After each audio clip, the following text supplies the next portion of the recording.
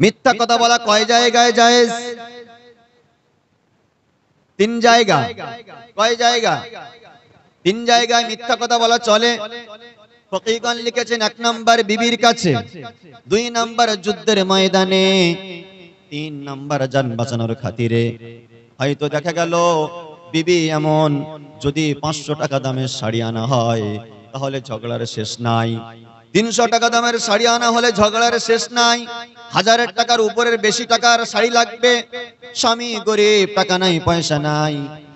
সাতশো টাকা, পাঁচশো টাকা শাড়ি আনলো।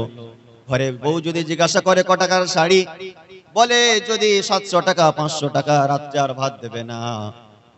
স্বামী তখন বলতে পারে, এটা হাজারের উপরে দাম আছে। এক নাম্বার। তাহলে বউয়ের কাছে মিথ্যা কথা বলা কি? চলবে। দুই নম্বরে যুদ্ধের ক্ষেত্রে শত্রুপক্ষ আপনার উপরে আক্রমণ করবে। আপনি তাকে যদি বলেন, দেখো ভাই, পিছনে তোমার কেউ মারছে, সে পিছন দিকে তাকাবে, তুমি সামনে থেকে তাকে সেরে দেবে। এই জায়গায় জায়েজ রয়েছে, অথবা রাস্তা বদলে দেওয়ার জন্য মিথ্যা কথা বলা যুদ্ধের ক্ষেত্রে জায়েজ রয়েছে। তিন নাম্বার চান বাঁচানোর খাতিরে আপনাকে কেউ মেরে ফেলবে, এমন কথা আপনার মুখ থেকে বলাবে। যদি না বলেন, মেরে ফেলবে। মিথ্যা কথা বলে ওখান থেকে বাঁচতে পারবেন, জানটা বাঁচানো ফরজ। তারপরে তওবা করে নেবে। এই তিন জায়গা ছাড়া মিথ্যা কথা কোনো জায়গায় জায়েজ নাই। কোরআন মাজিদের মধ্যে রব্বুল আলামিন পারা নাম্বার 26 সূরা নাম্বার 48 সূরা আল ফাতাহের মধ্যে আল্লাহ রাব্বুল আলামিন 29 নম্বর আয়াত আল্লাহ রাব্বুল আলামিন বললেন মুহাম্মাদুর রাসূলুল্লাহি ওয়াল্লাযীনা মাআহু আশিদ্দাউ আলাল কুফফার। মুহাম্মাদুর রাসূলুল্লাহ। অর্থাৎ আমার নবী মুহাম্মদ, ইনি হচ্ছেন কে আল্লাহর? জোরে বলুন। আল্লাহর রাসূল। আল্লাহ রাব্বুল আলামিন সূরা ফাতাহের মধ্যে তার সঙ্গীদের গুণ বর্ণনা দিচ্ছেন। আল্লাহ বলছেন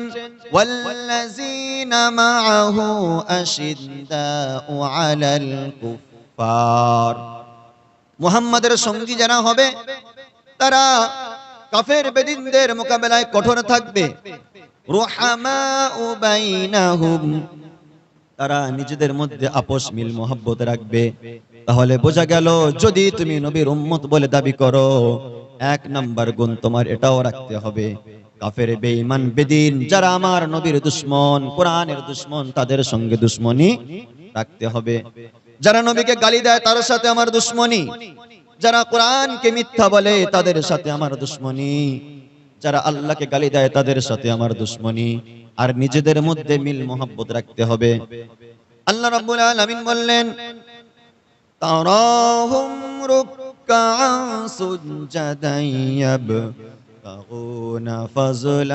মিনাল্লাহ আল্লাহ রাব্বুল আলামিন বললেন, যারা মুহাম্মাদের উম্মত হবে, তাদের এক নাম্বার গুণ তো কাফেরদের সাথে বিদ্বেষ রাখবে, দুই নাম্বার নিজেদের মধ্যে মোহাব্বত, ভালোবাসা রাখবে, তিন নাম্বার গুণ তারা রুকু করবে, সাজদা করবে।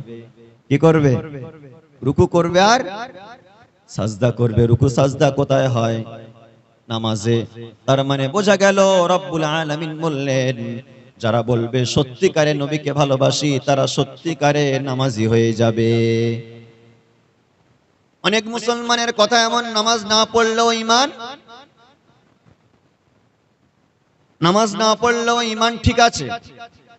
যদি আমি ডিউটি না করি, আমি যদি চাকরিতে জয়েন হওয়ার পরে যদি আমি সেখানে হাজিরি না দেই। আরে যদি বলি, চাকরি না করলে কি হবে? আমার ডিউটি ঠিক আছে। কথাটা ঠিক না ভুল। ঠিক তেমন তুমি মুসলমান, যদি নামাজ না পড়ার বলো, ইমান ঠিক আছে, কথাটা ঠিক তেমনি ভুল। আল্লাহ রাব্বুল আলামিন বললেন তাদের কেমন চেনা হবে? সীমাহুম ফি উজুহিহিম মিন আসারিস সুজুদ। কিয়ামতের ময়দানে কঠিন বিচারের দিন। মুসা নবীর উম্মত, ঈসা উম্মত ইব্রাহিম নবীর উম্মত, আদম নবীর উম্মত, হাজার হাজার নবীর উম্মত থাকবে। কিন্তু আমার নবীর উম্মতকে চেনা হবে। তার কপালে সাজদার কারণে এখান থেকে নূর চকচক চকচক করবে। আর এই নূর দেখে আমার নবীর উম্মত গুলোকে চিহ্নিত করা হবে। বুঝে আসেনি কথা আমার? আল্লাহটা কোরআন পাকের মধ্যে বলছেন, তাহলে নামাজ পড়তে হবে কি হবে না? একদিনে যদি আমরা নবী দিবস করে সেরে দেই, খুব কিছু হয়ে গেল। সত্যি বাস্তব কিছু না। কোরআন হাদিস আজকের কি শোনাবো? সব তো জানি আমরা। জানি না? আজকের মুসলমান যুবক, তুমি নবীর উম্মত, তোমাকে যদি সামনে দাঁড় করানো হয়, আর যদি তোমার পা থেকে মাথা পর্যন্ত দেখা হয়, বিশ্ব নবীর একটাও আদর্শ তোমার মধ্যে নাই। কোরআন মাজিদের মধ্যে রব্বুল আলামিন পারা নাম্বার একুশ সূরা নাম্বার তেত্রিশ আয়াত নাম্বার একুশ, সুরা আল আহজাবের মধ্যে আল্লাহ রাব্বুল আলামিন বলছেন, লাকাদ কানা লাকুম ফি রাসূলিল্লাহি উসওয়াতুন হাসানা। আল্লাহ রাব্বুল আলামিন বললেন, শোনো বিশ্ববাসী, তোমরা দুনিয়াতে জন্ম নিয়েছো, দুনিয়ার জমিনে তোমরা আসো কিন্তু ওই দুনিয়াতে যাওয়ার পরে তোমার কাজ কাম তোমার জীবন আদর্শ, তোমার ব্যবসায়ী লাইন, তোমার চাষ ক্ষেত খামারের লাইন, সামাজিক, পারিবারিক, সাংসারিক বহিবাহিক সব লাইনগুলো তুমি কার মতো করে সাজাবে? কেউ সাজায় কোনো হিরোর মতো করে, কেউ সাজায় কোনো নায়কের মতো করে, কিন্তু রব্বুল আলামিন বলছেন, আমি তোমাদের জন্য বিশ্ব নবীর মধ্যে রেখেছি উত্তম আদর্শ। বিশ্ব নবীর মধ্যে রেখেছি কি? উত্তম আদর্শ। যা টুকরা মুসলমান, উত্তম আদর্শ কেমন করে দেখুন? আমাদের কবি নজরুল ইসলাম এবং কবি রবীন্দ্রনাথ ঠাকুরকে আমরা চিনি কি চিনি না? চিনি কি না? রবীন্দ্রনাথের মুখে দাড়ি, মাথায় টুপি, ঘাড়ে লম্বা লম্বা চুল আর গায়ে জামা। একজন তার স্টুডেন্ট প্রশ্ন করলেন, স্যার, আপনি একজন ঠাকুর মানুষ, হিন্দু মানুষ, আপনার গায়ে কেন লম্বা জামা সাদা? আপনার মুখে কেন দাড়ি? ঘাড়ে কেন লম্বা লম্বা চুল?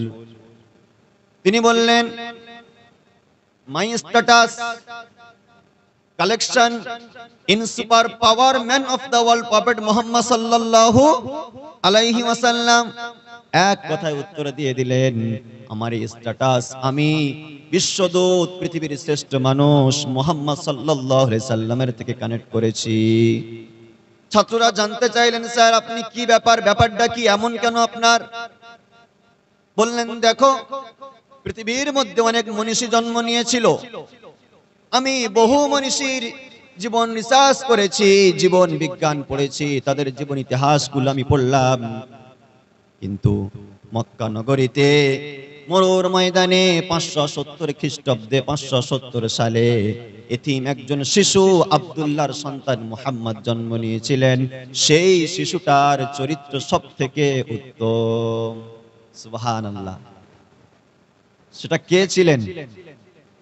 একজন বেদিন যদি আমার বিশ্ব নবীকে ফলো করে সম্মানিত হতে পারে, আমি আপনি কেন পারব না? আর একটা মেয়ে কবি রবীন্দ্রনাথকে প্রশ্ন করলেন, স্যার, আপনি যে দাড়ি রাখলেন কারণটা কি? আপনি মাথায় টুপি বললেন কারণ কি? বুঝতে তো পারলাম তার আদর্শ, কিন্তু এই আদর্শের মধ্যে কি এমন বহির প্রকাশ রয়েছে, কি এমন বড়ত্ব মাহাত্ম রয়েছে? কবি রবীন্দ্রনাথ বলে, শোনো, যদি আমি মুখে দাঁড়িয়ে রাখি, তাহলে আমি কিন্তু মেয়েদের সাথে আড্ডা মারতে পারব না। নাচ গান যেখানে হবে, সেখানে যেতে পারব না। মিথ্যা কথা বলতে পারব না।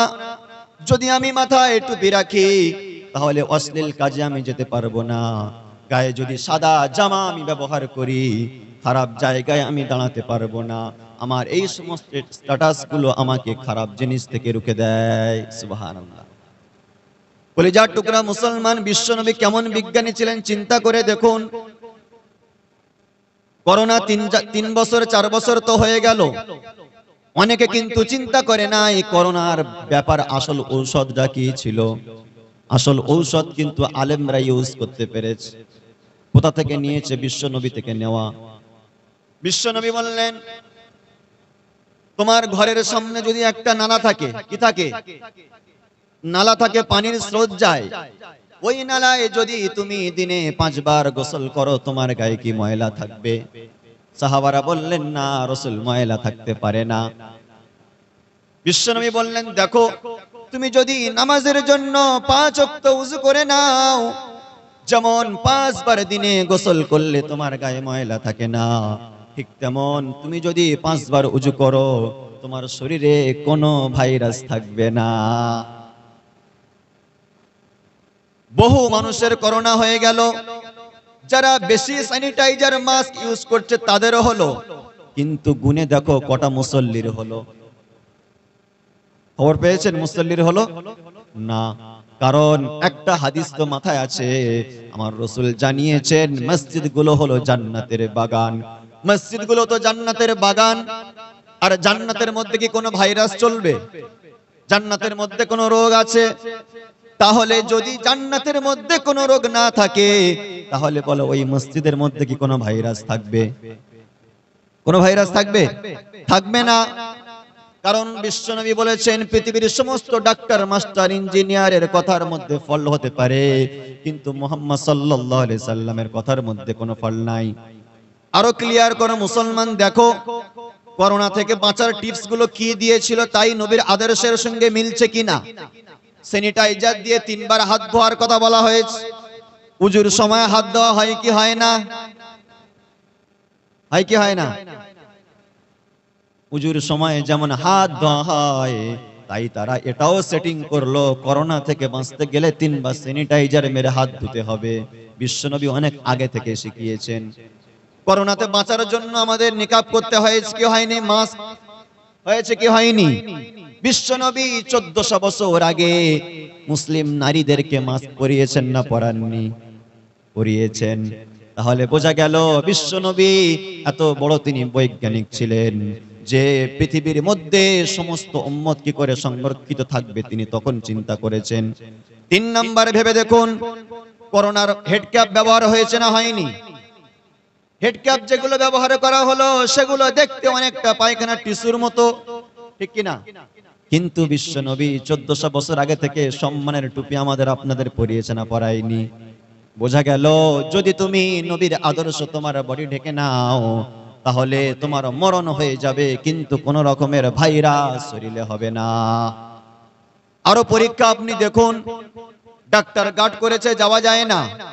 কিন্তু করোনার সময় যত ঈদের নামাজ আর জুমার নামাজ হয়েছে, সব জুমা মসজিদ গুলোতে সব ঈদের ঈদগাহ গুলোতে নামাজ পড়ানোর পরে শত শত মুসল্লি ইমাম সাহেবের হাতে হাত দিয়েছে।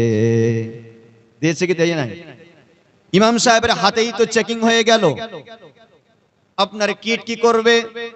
কিট তো চেক করবে, কিন্তু ইমাম সাহেবের হাতে হাতে চেক করে পুরো মহল্লা চেক হয়ে গেল।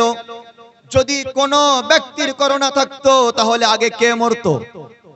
ইমাম সাহেব মারা যেত। হাওড়া জেলা ঈদের নামাজ পড়ানোর পরে দেখি শত শত মানুষ সবাই মোসাওয়া করে। কেউ স্যানিটাইজার মেরে আসছে, কেউ খালি হাতে, কেউ মাস্ক লাগিয়ে, কেউ হ্যান্ডকাপ পরে। আমি খালি হাতে দাঁড়িয়ে জিজ্ঞাসা একজন বলে, হুজুর, আপনি কিছু আপনার সেফসাইড করে রাখুন, সমস্যা হতে পারে। আমি বললাম, দেখো, তোমার চিন্তা, সাধারণ মানুষের চিন্তা যেখান থেকে শেষ, সেখান থেকে আলেমের চিন্তা শুরু। আমার নবী বলেছে, জান্নাতের বাগান, আর জান্নাতে কোনো রোগ থাকে না, সেহেতু মসজিদে কোনো করোনা হবে না। হাতে পাঁচশোর উপরে বেশি মানুষ মশা করল, ইমাম সাহেবের কোনো ক্ষতি হলো না। একটাই মাত্র ওষুধ বিশ্বনবী দিয়েছেন যদি দিনে তুমি পাঁচবার উজু করো, তোমার ভাইরাস কেন কোন রকমের চুলকোনাও তোমার শরীরে হবে না। কথাটা কে বলেছেন? বিশ্বনবী বলেছেন, তাই কবিদ্রনাথ তো সেটাই বলল যে মোহাম্মদ সাল্লাল্লাহু আলাইহি ওয়াসাল্লামের আদর্শ আমি জীবনের সঙ্গে লাগানোর পর আমার চরিত্র উত্তম হয়েছে। বলো যুবক, একটা ছোট্ট প্রশ্ন তোমার আমি করি। আজকের নবী দিবসে তুমি এসছো মূল্যবান সময়টা এদিক ওদিক করতে নয়, দামি একটা উত্তর আমাকে আজকের দিয়ে যেতে হবে সবার। আমি একজন নতুন জামাই, নতুন মেহমান, নতুন একজন আমি আপনাদের মানুষ। আমি আপনাদের কাছে যদি একদিন যাই, সম্মান তো অনেক বেশি থাকে। প্রথম দিন থাকে কি থাকে না? দ্বিতীয় দিনে একটু কমে, তৃতীয় দিনে একটু কমে, চতুর্থ দিনে একটু কমে যায়। আপনি আপনার জীবন নিয়ে ফলো করুন। পৃথিবীর যত বাড়ি আছে, সব বাড়িতে আপনার যত প্রিয় আত্মীয় হোক না কেন, যত বেশি আপনি যাবেন, তত আপনার কদর বাড়বে না কমবে। জোরে বলুন। কমবে। প্রথম দিন খুব আদর যত্ন। যখন প্রতিদিন আসবেন, তখন অ্যাভেলেবেল হয়ে যায়। ঠিক কি না কিন্তু দুনিয়ার মধ্যে একটা জায়গা এমন আছে, একটা ঘর এমন আছে যেখানে যত বেশি যাতায়াত করা হয়, তত তোমার সম্মান বেড়ে যায়। জায়গাটার নাম কি? মসজিদ, সবাই জানি মসজিদ। ও কলিজার টুকরা মুসলমান যুবক, তখন তোমার আফসোস হবে, তখন তোমার দিলটা কাঁদবে। যখন তোমাকে সবাই মিলে বিনা সেলায় সাদা কাপড়ের মধ্যে প্যাকিং করে দেবে কেউ তোমাকে কাঁধে করে তুলবে, কেউ গামছা তোমার পিঠের নিচে দিয়ে কবরের মাটির মধ্যে শুইয়ে সমান করে দেবে। সেখানে উঠে মনে উঠবে, হায় রে, আজকের মানুষ বলেই তো এই ঠিকানা, যদি আগে আমি যেতাম আল্লাহর ঘরে কতই না ভালো হতো। বিশ্বনবী তাহলে শিখিয়ে দিলেন যে আমার আদর্শই হচ্ছে সব থেকে দামি আদর্শ। বিশ্বনবী বলেন, আফসুস সালাম ছোট্ট হাদিস। নবী বললেন, তোমরা একে অপরের সালাম দাও। যদি আপনি সারাদিন আপনার মুখে সালাম লেগে থাকে, সালাম সালাম সালাম সালাম মানে কি? শান্তি না অশান্তি? তাহলে যদি আপনার সারাদিন মুখে সালাম মানে শান্তি যদি থাকে, তাহলে বিশ্বনবীর হাদিস মোতাবেক তুমি কি অশান্তিতে থাকবে? অশান্তিতে না। বিশ্বনবী বলেন, আফসুস সালামা বাইনাকুম আলা মান আরাফতা ওয়া মান লাম তারিফ। নবী বললেন, তোমরা সালাম দাও যাকে চেনো এবং যাকে না চেনো। বোঝা গেল, বিশ্বনবীর একটা হাদিস যদি তুমি দুনিয়ার জীবনে তোমার জীবনের সঙ্গে লাগিয়ে রাখো, যদি আজকের থেকে নিয়ত করো যে আল্লাহ, যত মানুষ সামনে পড়বে, ফুল সালাম না দিলেও আসসালামু আলাইকুম এটাই বলব, যখন তুমি তোমার মুখে সব সময় সালাম সালাম, শান্তি রাখবে অটোমেটিক তোমার মুখ থেকে তোমার বুকেও শান্তি প্রবেশ করবে। করবে না? ইসলাম এমন একটা জিনিস, কবি নজরুল ইসলাম লিখছেন the Quran and Islam best platform and information world man of the world তিনি লিখছেন, কোরআন এবং ইসলাম এমন একটা জীবন বিধান, পৃথিবীর সকল মানুষের জন্য সব থেকে উত্তম একটা প্রেসক্রিপশন কোরআন এমন একটা জিনিস, কোরআন এমন একটা মাহাত্ম এমন একটা বড়ত্ব বিশ্বনবী বললেন ওই কোরআনের একটা হরফ পড়লে কয়টা নাকি? দশটা নেকি। কেয়ামতের মধ্যে, কেয়ামতের ময়দানে একটা নেকির জন্য আপনার টেনশন করতে হবে কি হবে না? হবে কি না? তাহলে বোঝা গেল সব থেকে দামি উপহার আমরা কি পেলাম আল্লাহর থেকে? আল কোরআন যেমন ফ্রিজের মধ্যে পানি রাখলে পানি ঠান্ডা হয়, তেমন তোমার সিনায় যদি কোরআন থাকে তোমার সিনাও ঠান্ডা হয়ে যায়। বিশ্ব নবীর ইন্তেকালের ঘটনা একটু সামনে রাখি ভাই। নবী দিবস, আরও একটা জিনিস ক্লিয়ার আমাদের হতে হবে। আজকের থেকে নিয়ে যতদিন পর্যন্ত আপনি দুনিয়ার জমিনে থাকবেন, যত নবী দিবস হবে কেন, যাই হোক না কেন, প্রথমে বললাম নিয়ত ঠিক রাখতে হবে। কি ঠিক রাখতে হবে? নিয়ত ঠিক রাখতে হবে। দামি একটা জিনিস শিখে যান। মুরগি জবাই করা হবে। একজন আলেম দাঁড়িয়েছেন, গায়ে টুপি আছে মুখে, দাঁড়িয়ে আছে, মাথায় টুপি আছে, হাতে ছুরি নিয়েছে, মুরগি জবাই করবে। আরও একজন দাঁড়িয়েছে সেম মুখে দাঁড়িয়ে আছে, গায়ে জামা আছে, মাথায় টুপি আছে, হাতে ছুরি আছে, মুরগি জবাই করবে। আলেমটা যে মুরগিটা জবাই করল, সেটা খাওয়া হালাল হলো। কিন্তু ওই আলেমটা যেটা জবাই করল, সেটা খাওয়া হারাম হলো। ভেতরে একটা জিনিস পার্থক্য কেউ বুঝতে পারল না, একমাত্র একজন বুঝে গেল, তিনি কে? আল্লাহ। দাড়ি আমি রাখতে পারি, টুপি আমি রাখতে পারি, জামা আমি রাখতে পারি, কিন্তু ওই জবাই করার সময় যদি আমি আল্লাহর নাম না নিয়ে, যদি কোনো দেবতার নাম নেই খাওয়া হালাল না হারাম? বলুন। হারাম। একই রকম ড্রেস, একই রকম ছুরি চালানো, সবকিছু একই রয়েছে। কিন্তু ভিতরে একটা জিনিস পরিবর্তন হওয়ার কারণে হারাম হলো। আর যদি আমি আল্লাহর নাম নিয়ে জবাই করতাম, হারাম হতো না, হালাল হয়ে যেত। তাই নবী দিবস অনেকে করে গোনা নেয়, অনেকে করে নেকি নেয়। এবার জানতে হবে কারা করে গোনা নেয়, কারা করে নেকি নেয়। ঠিক কিনা?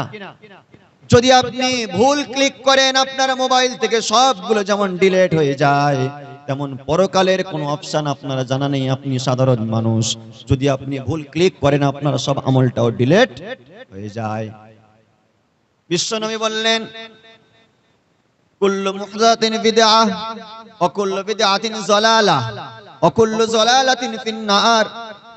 ইসলামের মধ্যে প্রত্যেকটি নতুন জিনিস হলো কি?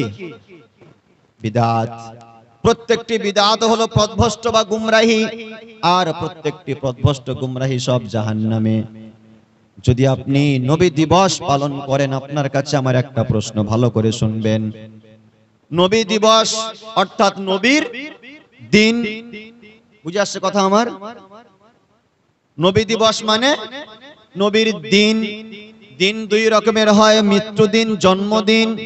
আপনি কোন দিনটা পালন করছেন? যদি বলেন আপনি আমি নবীর জন্মদিন পালন করছি, তাহলে ইসলাম বলছে দা নট পারমিশন এটা অনুমতি নাই। নবীর জন্মদিন পালন করা হাদিসে নাই, কোরআনে নাই সাহাবাদের কারও থেকে সাবিত নাই। কোরআনের হাজার হাজার আয়াত, লক্ষ লক্ষ হাদিসের মধ্যে কোথাও নাই নবীর জন্মদিন পালন করতে হবে। জন্মদিন নবীর কেন আপনার বাচ্চা, মা, বাপ, ভাই, বোন কারোর পালন করা চলবে না? বিশ্বনবী বলেন, এটা হচ্ছে খ্রিস্টানদের খ্রিস্ট একটা জিনিস। ওরা ঈসা নবীর জন্মদিন পালন করে। বিশ্বনবী বললেন নাসার তোমরা এবং নাসারাদের বিপক্ষে চলো। তারা মুহররম মাসে একটা রোজা রাখে, তোমরা দুইটা রোজা রাখো। তারা যেটা করে, তোমরা তার বিপরীত করো। তাহলে তারা যদি নবী দিবস পালন করে, তাদের নবী দিবস, ঈসা নবী দিবস তারা যদি পালন করে, তাহলে আমাদের নবী দিবস পালন করা চলবে কি চলবে না? সবাই বলবে চলবে না, ঝামেলার শেষ নাই। ভালো করে বুঝে নাও, মুসলমান ধ্যান দিয়ে কথাটা শোনো, ক্লিয়ার হয়ে যাও আজকে। নবী দিবস বলতে দুইটা জিনিস, হয় নবীর জন্মদিন, না হয় নবীর মৃত্যুদিন। নবীর জন্মদিন পালন করা চলবে না। আর নবীর মৃত্যুদিনও পালন করা চলবে না। আমার আপনার থেকে সাহাবায়ে কেরামরা নবীকে বেশি ভালোবাসতেন। কি করতেন? বেশি ভালোবাসতেন। তারা তো নবীর জন্মদিন পালন করতে পারতেন, কিন্তু করে নাই। আমরা সাধারণ মানুষ, আমরা সাধারণ লেভেলের জনগণ, তাই আমরা মনে করি নবীর জন্মদিন পালন করছি না, এটা নিয়ত করবেন না। তাহলে নবীর মরণ দিন পালন করছি না, এটাও নিয়ত করবেন না। একটা নিয়ত করবেন ইসালে সওয়াবের আয়োজন। আমার নবী দুনিয়া ছেড়ে চলে গিয়েছেন। সোনার মতো নবী পেয়ে আমার মতো গোনাগারের উম্মতের উপরে একটা হক আছে নবীর জন্য কিছু পাঠানো। ঠিক কি না যদি আপনি মজলিস করছেন, কোনো অসুবিধা নাই। যদি আপনি নিয়ত করেন জন্মদিন, তাহলে বেদাত। যদি নিয়ত করেন মরণ দিন তাহলে বেদাত। তাহলে কি করব না? না, করুন। এই দিনে আপনি কোরআন খতম করুন, কালেমা পড়ুন, ইস্তেগফার করুন, রোজা রাখুন। আর ইসালে সওয়াব উদ্দেশ্যে আপনি করুন, তাহলে সব হয়ে যাবে। এদিকে কলা বেচা হবে, রথ দেখা হবে। কিন্তু যদি আমি আপনি নবীর নামে মিথ্যাচার কোনো প্রোগ্রাম করি, তাহলে কেয়ামতের ময়দানে আমাকে আপনাকে ধরপাকড় হতে হবে কি হবে না? হবে কি হবে না? হক কথা বললে অনেকে হয়তো বিপক্ষে হয়ে যাবে, কিন্তু আমার লাভটা কি? কিন্তু রসুল বলেছেন, লা তাআতা লিমাখলুকিন ফি মাসিয়াতিল খালিক। আল্লাহকে নারাজ করে মানুষকে খুশি করা যাবে না। আপনি হক কথা বলুন, হক কথা চলুন, আল্লাহ রাব্বুল আলামিন বলেন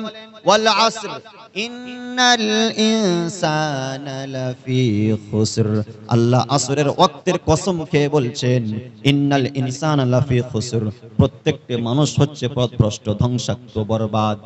আল্লাহ কি বললেন?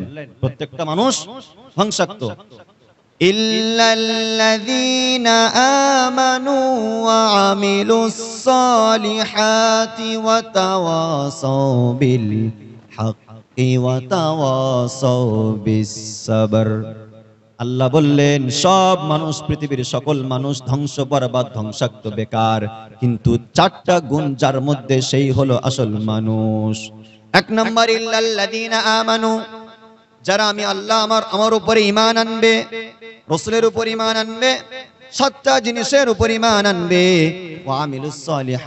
কাজ করবে এবং হক কথা বলবে, হকের প্রতি মানুষদের দাওয়াত দেবে এবং মানুষকে সবরের কথা বলবে। এই চারটা কাজ যদি তোমার মধ্যে থাকে বিশ্বনবী বললেন, আল্লাহ স্বয়ং তিনি জানিয়ে দিলেন, তুমি হচ্ছ জান্নাতি।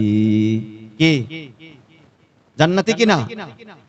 তাহলে বোঝা গেল বাপ যদি বিড়ি খায়, ছেলে ভয়তে মানা করবে কি করবে না? কথা বলো। মানা করতে হবে। বলি, যা টুকরা মুসলমান রে যুবক, ভালো করে একটা জিনিস মাথায় রাখবে। কবরের মধ্যে, কেয়ামতের ময়দানে পুলিশিরাতে কোথাও তোমাকে জিজ্ঞাসা করা হবে না। তুমি কয়টা জলসা শুনেছো? আল্লাহ রাব্বুল আলামিন কিয়ামতের ময়দানে কয়টা প্রশ্ন করবে জানেন? একটা ছাত্র স্কুলে ভর্তি হতে গেলে ফার্স্ট তার টেস্ট পরীক্ষা নেওয়া হয়। সেখানে যদি পাশ করে তাহলে তার ভর্তি নেওয়া হয়, তারপরে ফাইনাল তাই কি না? ঠিক তেমন কবরেরটা তোমার পরকালে যাওয়ার জন্য প্রথম প্ল্যাটফর্ম ওখানে তোমার প্রশ্ন করা হবে কয়টা? তিনটা। এক নম্বর প্রশ্ন তুমি রবের পরিচয় দাও। দিয়ে দেবে? আল্লাহ কি প্রশ্ন করে? কেউ জানা আছে কারও আরবিতে কেউ বলতে পারবেন? কি প্রশ্ন করবেন? ফারিস্তারা? মান রব্বুকা, তোমার প্রভুকে। ওই উত্তরটা দিতে গেলে কপালের ঘাম সরে যাবে। কারণ প্রভু ওইখানে মাটির উপরে তো বলতে পারি, কিন্তু ভিতরে গিয়ে বলা যাবে না। সম্পূর্ণ মেন্টাল সেখানে পরিবর্তন হবে। বিশ্বনবী বলছেন, যখন মুর্দাকে প্রশ্ন করা হবে, মান রব্বুকা, তোমার প্রভুকে তখন সেই ব্যক্তি যদি নামাজি হয়, মুসল্লি হয়, সৎ মানুষ হয়, তখন আনন্দ করে বলে দেবে, রব্বি আল্লাহ। বলবে? রব্বি আল্লাহ। যদি সে বেনামাজি হয়, বদ মানুষ হয়, তাহলে সে বলবে, লা আলামু, আমি জানি না, আমি জানি না। ফেরেশতারা বলবে আনার আলামু আনতা লা তাআলাম আমরা জানি, তুমি জানো না। আবার দ্বিতীয় প্রশ্ন করা হবে মান নবিয়ুক, তোমার নবীকে বলবে, চিনি না। ফারিস্তারা বলবে, আমরা জানি, তুমি জানো না। আবার প্রশ্ন করা হবে, মা দিনুক, তোমার ধর্ম কি? বলতে পারবে না। তুমি যদি আল্লাহর পথে থাকো, আল্লাহর প্রশ্নের উত্তর সহজ হবে। যদি তুমি নবীর পথে থাকো, নবীর নামটা বলা সহজ হবে। আর যদি তুমি ইসলামের পথে থাকো, ইসলামের উত্তরটা দেওয়া তোমার জন্য সহজ হবে। এরে যুবক, তোমার জীবন লাইফ স্টাইল তুমি কার দিকে সাজাচ্ছ? কোন নায়ক, কোন হিরো কোন মানুষের দিকে তুমি নিয়ে যাও না, নিয়ে যাও মদিনার নবীর দিকে। কার দিকে? মদিনার নবীর দিকে। সম্মান পাবে কি পাবে না? উত্তর দাও, যদি দশটা ছেলে হেঁটে আসে, প্যান্ট শার্ট পরে আছে, কারও দাড়ি নাই। কিন্তু তার মাঝে একটা ছেলে আছে, যার মাথায় টুপি আছে, মুখে দাড়ি, গায়ে জামা। বলো, যদি একটা মদ খোরো রাস্তায় পড়ে থাকে, কাকে আগে ভালো বলবে? বলবে কি বলবে না? বোঝা গেল, বিশ্ব নবীর আদর্শ এমন একটা আদর্শ। যদি তুমি একটা তোমার সাথে নাও, তোমার জীবন ধন্য। তুমি যতদিন ডাক্তারি করছ, মাস্টারি করছ, দোকানদারি করছ, ড্রাইভারি করছ কৃষি কাজ করছ, যাই করছ, করো। এতদিন তুমি মাথায় টুপি দিয়ে কোনো কাজ করনি। কাজের সময় টুপি খুলে রাখতে। কিন্তু আজকের জলসা থেকে যদি তুমি একটা নিয়ত করো যে আমি মাথায় টুপি রেখে সব কাজ করব। খোদার কসম করে বলছি, দেখবে কেউ তোমার সাথ না দিক, স্বয়ং আল্লাহ তোমার সাথ দিয়ে দেবে। নবীর সাহাবী হযরতে বেলাল, দেখতে কালো, দেখতে খাটো, চোখটা বেঁকা, মুখটা বেঁকা, টেরা, আবার তোতলা। যত রকমের খারাপি তার মধ্যে আছে। কিন্তু বেলালকে কে কে চেনেন হাত তুলে দেখান কে কে চেনেন বেলালকে কেউ চেনেন বেলালকে কেউ চেনে না বেলালকে বেলালের বাড়ি কোথায় বাড়ি হাফসার মানুষ বেলাল বিশ্বনবী আমার যখন স্বপ্ন যোগে জান্নাত ভ্রমণ করছেন, হঠাৎ করে বিশ্বনবী দেখছেন, সামনে বেলালের পায়ের আওয়াজ। আল্লাহর নবী জিজ্ঞাসা করলেন, বেলাল, আমি স্বপ্নে যখন জান্নাত ভ্রমণ করছিলাম, আমি দেখি আমার সামনা সামনি আমার রাহাবারি তুমি করছ। ও বেলাল, কেন তুমি এমনটা করছ? বেলাল বলে, নবী, আমার তো কোনো আমল এমন নাই যে আপনার সামনে জান্নাতে রাহাবারি করব। নবী, আমি একটা আমল করি, যখন আমার উজু ভেঙে যায় আমি বেলাল উজু করে তাহিয়াতুল উজু দুই রাকাত নামাজ আদায় করে নি। নবীর কত বড় আশেক ছিল হযরতে বেলাল। বেলাল মদিনার মসজিদে আজান দিচ্ছেন। হঠাৎ করে ওহুদের ময়দান থেকে খবর এলো, নবী নাই নবী নাই। বেলাল হাইয়া আলাস সালাহ বলেই দৌড় দিলেন। সবাই জিজ্ঞাসা করে, রে বেলাল, আজান তো এখনও শেষ হয় নাই, তুমি কেন দৌড় দিলা? বলে কার জন্য আজান দেব? যে নবী আমার নাই আমি আর আজান দেব না। বেলাল গোসল করেছে মাথায় টুপিটা চেপে ধরে গোসল করছে। সাহাবারা বললেন বেলাল টুপি খুলে দাও। বলে না আমি টুপি খুলতে পারব না। কারণ তোমরা নবীর দেশের মানুষ মক্কার মানুষ মদিনার মানুষ। নবীকে পেয়েছ নবীর কদর তোমাদের কাছে আছে। কিন্তু আমি বেলাল বহু দূর থেকে বিশ্ব নবীর মায়ায় ঘর বাড়ি ছেড়ে বাপ মা ছেড়ে, আত্মীয় স্বজন সব ছেড়ে আমি বেলাল তোমাদের এখানে এসে গোলামি করেছিলাম। আমাকে আবু জেহেল, আবুল আহাব মক্কার মালির উপরে আমাকে শুইয়ে দিয়ে গরম পাথরগুলো আমার বুকের উপরে চেপে দিয়েছে আর আমার নিচে কয়লার আগুন দিয়েছে। আমি বেলাল শুনতে পারছি আমার পিঠের গোস্তগুলো টস টস করে কয়লার আগুনে পড়ে আগুনগুলো বন্ধ হচ্ছে। পাশ দিয়ে বিশ্ব নবী হেঁটে যাচ্ছেন নবী আমাকে দেখছেন আর নবীর অস্ত্র থেকে চচ্চর করে পানি পড়ছে নবী বলছে বেলাল এত কষ্ট তোমার দিচ্ছে আমি দোয়া করি আল্লাহ তোমাকে জান্নাতবাসী করবে। শুধু আবু জেহেল আবুল আহাব সকালবেলা প্রতিদিন বেলালকে ধরে আনবে আর মরুর বালির উপরে ইচ্ছা মতো সাজা দেবে। একটাই কারণ, নবীকে নবীকে বিশ্বাস করেছে, আল্লাহকে বিশ্বাস করেছে। বেলালের শুধু একটা কথা বলে রে বেলাল, আহাদ আহাদ ছেড়ে দাও, আল্লাহকে তুমি ছেড়ে দাও। বেলাল বলছে, দেখো সাহাবায়ে কেরাম, তোমরা টুপি খুলে গোসল করতে পারো, কিন্তু আমি বেলাল পারি নাই। কারণ আমার জীবন বাজি রেখে নবীকে ভালোবেসেছি। আর যদি আমার টুপিটা খুলে আমি গোসল করি, আমার নবী যদি আমাকে দেখে, বেলাল, তুমি খালি মাথায় না জানি আমার রসুল আমার নারাজ হয়ে যায়। কেমন ভালোবাসতে কলিজার টুকরা মুসলমান দিলটা বড় কাঁদে। কেয়ামতের দিনটা কেমন হবে তুমি কি জানো? তোমার নবীর সঙ্গে কেমন সম্পর্ক হবে? আমি তুমি চোদ্দশো বছরের অনেক পুরা- পুরাতন, অনেক দূরের, অনেক নিষ্পাপ, অনেক পরের আমরা উম্মত। আমাদের নবীর সঙ্গে কোনো সম্পর্ক নাই। নবীর দেশে যেতে পারি নাই, নবীর বাড়িও দেখতে পারি নাই। কিন্তু নবীর কাছে সব সময় নবীর পাগলের মতো খেদমত করতেন আনাস বিন মালিক রাজিয়াল্লাহু আনাস বিন মালিক বিশ্ব নবীর দরবারে হাজির। নবীর কাছে আবদার করে বলছেন قال لنبي صلى الله عليه وسلم আনাস বিন মালিক বিশ্ব নবীর কাছে আবদার করে বলছেন ওয়াহিব্বু আন তাশফা লি ইয়াউমাল কিয়ামা ইয়া রাসূলুল্লাহ ও আল্লাহর নবী আমি আনাস আমার মনে বড় শখ কিয়ামতের ময়দানে আপনি আমার জন্য একটু সুপারিশ করবেন বিশ্ব নবী বললেন আনা ফাইলুন ও আনাস আমি তো হাসরের ময়দানে তোমাদের সুপারিশ করার জন্যই থাকবো আমি রসুল, যদি আমাকে আমার কথা চিন্তা করতাম, তাহলে আগে আমি জান্নাতে চলে যেতাম। কিন্তু আমার একটা উম্মত জান্নাতে যাওয়া বাকি থাকবে। আমি রসুল জান্নাতে প্রবেশ করব না, আমি তোমাদের সুপারিশ করব। নবীর এই প্রশ্নের উত্তর শুনে আনাস বিন মালিক বলেন আইনা তুলবুকা ইয়াউমাল কিয়ামা ইয়া রাসূলুল্লাহ? ও আল্লাহর নবী কিয়ামতের দিনে কঠিন বিচারের দিন কোটি কোটি কোটি কোটি কোটি কোটি, হাজার হাজার নবীর উম্মতেরা থাকবে, আপনিও থাকবেন। আপনাকে কোথায় খুঁজবো, কোথায় পাবো? বিশ্বনবী বললেন, ফতলুবনি ইন্দাস সিরাত ওয়ানাস। এক নাম্বার, তুমি আমাকে খোঁজ করবে ওই পুলসিরাতের কাছে। যেখান থেকে আমার উম্মতগুলো ওই জাহান্নামের উপরে সাঁকো থেকে পাড়ি দিয়ে জান্নাতে প্রবেশ করবে, আমি রসুল হয়তো ওখানে থাকব।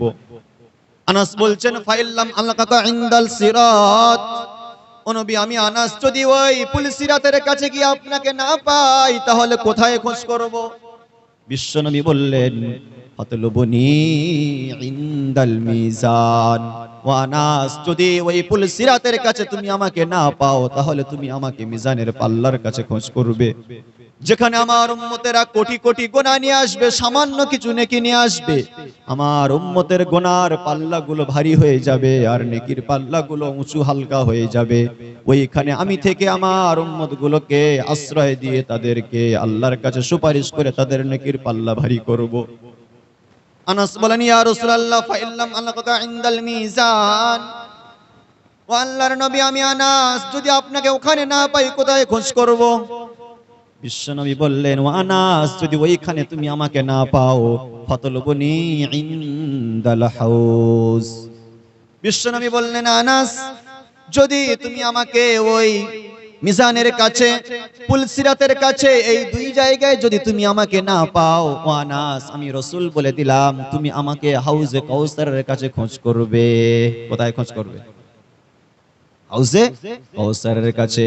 কারণ নবী বলছে, আনাস, ওই কেয়ামতের ময়দানে আমি বিশ্ব নবী একবার দৌড়ে যাব পুলসিরাতের কাছে, একবার দৌড়ে যাব মিজানের কাছে, একবার আসব হাউজে কৌসারে আমার উম্মতগুলো সেদিন কত বিপদে পড়বে, আমি রসুল সেদিন চুপ থাকতে পারব না। রসুল কেয়ামতের দিন আল্লাহ রব্বুল আলামিন বিশ্ব নবীকে একটা হাউস দেবেন, যখন মক্কা নগরীতে নবীর একটা ছেলে হয়েছিল কাসিম ইব্রাহিম। দুইটা সন্তান বিশ্ব নবীর ছিল, কিন্তু দুইটা সন্তান দুনিয়া থেকে চলে গেল। আবু জেহেল আবুল আহাব বিশ্ব নবীকে বলে, মুহাম্মাদের বংশ শেষ, আর ধর্ম প্রচার হবে না। মুহাম্মাদের সব শেষ হয়ে গেল, কোরআনের বাণী কেউ ছড়াতে পারবে না। আল্লাহ রাব্বুল আলামিন বিশ্ব নবীর মনটা খারাপ দেখে নবীকে বললেন, নবী, ইন্না আ'তাইনাকাল কাউসার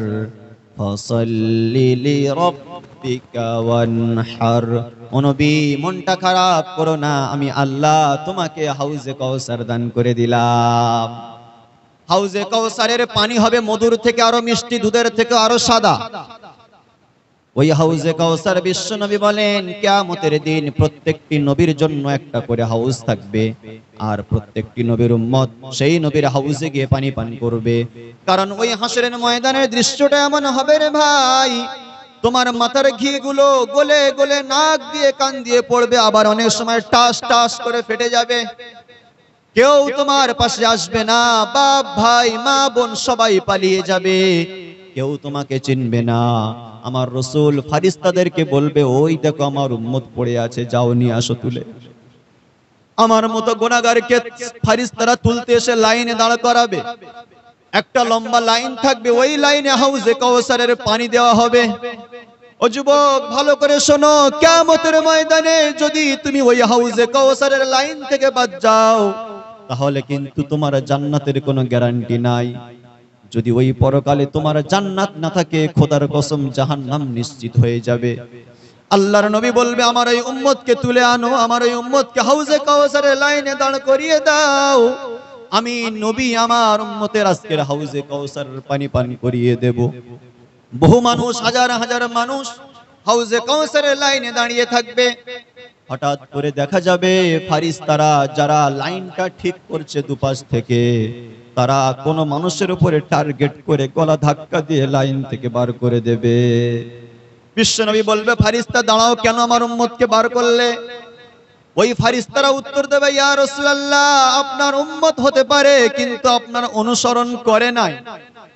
আপনার উম্মত হতে পারে, আপনাকে ভালোবাসতো, কিন্তু আল্লাহ রাব্বুল আলামিন তো বলেছেন কুল ইন কুনতুম তুহিব্বুনাল্লাহ ফাত্তাবিউনি ইউহিব্বুকুমুল্লাহ ও নবী আল্লাহ জানিয়েছেন, যদি আল্লাহকে পেতে চায়, আপনাকে পেতে চায়, তাহলে আপনার অনুসরণ, অনুকরণ, অনুধাবন করতে হবে। কিন্তু আপনার ওই উম্মত সব আপনাকে ভালোবাসত, কিন্তু আপনার অনুসরণ করেনি। বিশ্ব নবী বলবেন, দেখো কি অনুসরণ করেনি? বলবে, হে রসুল, দেখুন, ওই ব্যক্তির দিকে তাকিয়ে দেখুন, আর এই লাইনে যারা দাঁড়িয়ে আছে, এদের দিকে দেখুন। এদের সবার মুখে সোনার মতো চকচক করেছে দাড়ি মুবারক, আর ওই ব্যক্তির মুখটা কেন পরিষ্কার? নবী, দাড়ি রাখা ওয়াজিব আপনি জানিয়েছেন, আর আপনি সাহাবাদের নিয়ে যুদ্ধ করতে গিয়েছেন ওই দাড়িকে টিকিয়ে রাখার জন্য।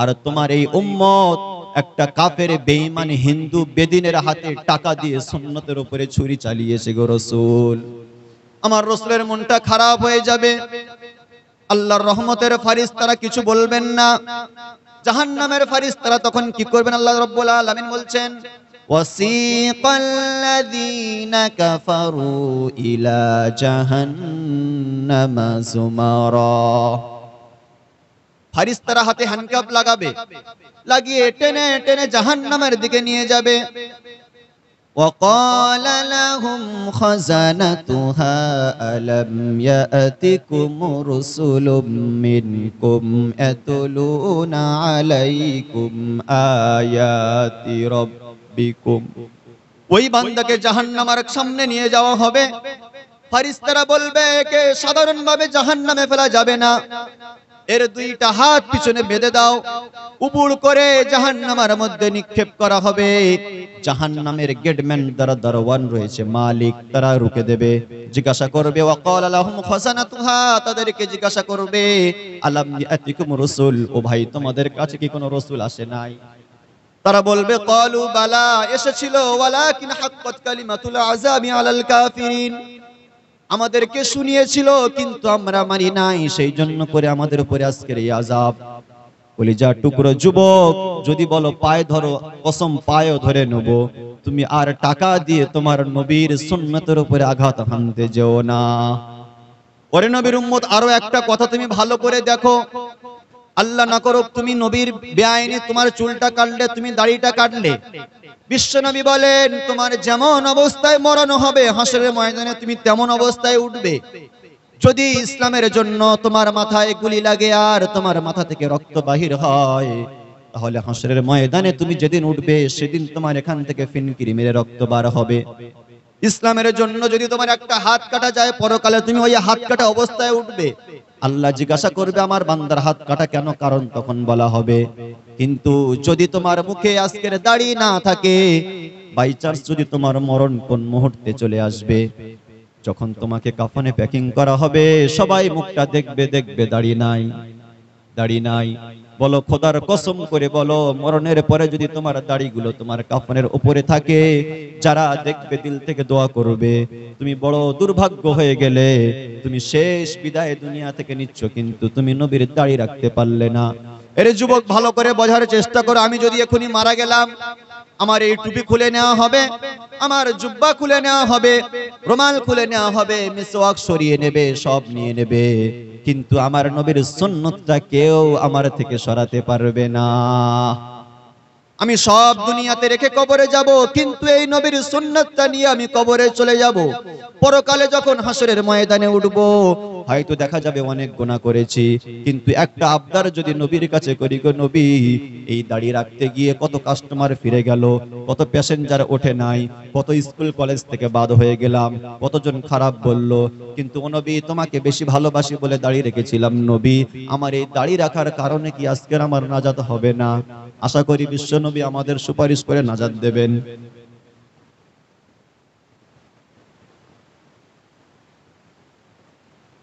জন্য কলিজা টুকরা যুবক একটা নিয়ত আজকের করে নেবে। কি নিয়ত? যে আল্লাহ দুনিয়া চলে যায়, যাবে। নবীর সুন্নতে আর আঘাত হানবো না। একটা সুন্নত নিয়ে যেন কবরে যেতে পারে, সেটা হলো কি? দাড়ি। ছোট্ট একটা জিনিস বলে দিও হয়তো আমরা অনেকে দাড়ি রাখি না। তুমি দাড়ি রাখো, তোমার একটা গৌরব। কুকুর দেখেছেন? দু মিনিট লাগবে কথা বলতে। কুকুর দেখেছেন তো? কুকুর? ও দাড়ি নেই, বিচ্ছিরি লাগে দেখতে। কিন্তু সিংহ দেখেছেন?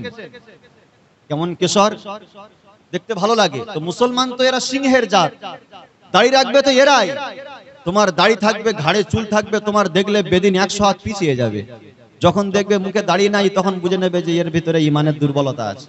জন্য তুমি দাড়ি রাখবে কতটা আমাদের মতো না, এরম রাখতে তোমার হবে না। শিখে দিচ্ছি তোমার দাড়ি রাখার মশলাটা ভালো করে সবাই শুনে দামি মাসলা শিখো। এক হাজার রাকাত নফল নামাজের সব পাবে একটা মাসলা শিখলে। এই নিচের যে দাঁতের মাড়ি আছে না, এই নিচের যে দাঁতের মাড়ি আছে, এই মাড়িটা আপনার যতটা চওড়া আছে, এই চওড়া পরিমাণ দাড়ি আপনার উপরে ওয়াজিব। এই উপরে গুলো চেঁচে ফেলতে পারেন। এই নিচের দাড়ি, মাড়ি পরিমাণ আপনার রাখতে হবে।